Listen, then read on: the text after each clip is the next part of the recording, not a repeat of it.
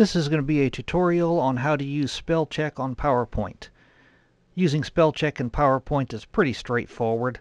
Some uh, common misspellings are changed as you type. They will be automatically changed as you type, while others will appear with a red squiggly underline under them, as you see here.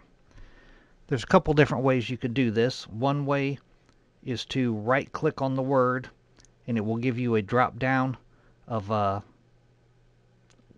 of maybe what you intended, like I intended wrong, and here I intended to write also.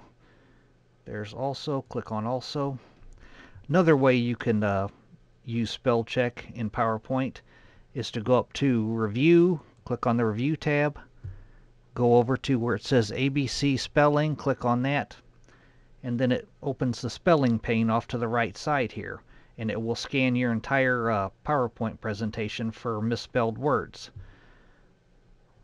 Right here it automatically highlighted this word here which I meant to write review. I'll click on review and then I'll click on change.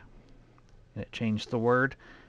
Here I meant to write spell check. I'll click click on spell check click on change now you may have certain words uh, uh, people's names or places where they're actually spelled correctly but uh, PowerPoint is thinking it's not spelled correctly and what you do with that is just uh, click on ignore.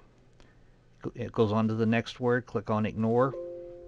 Spell check is complete. Click on OK. And that's it. Thanks for watching.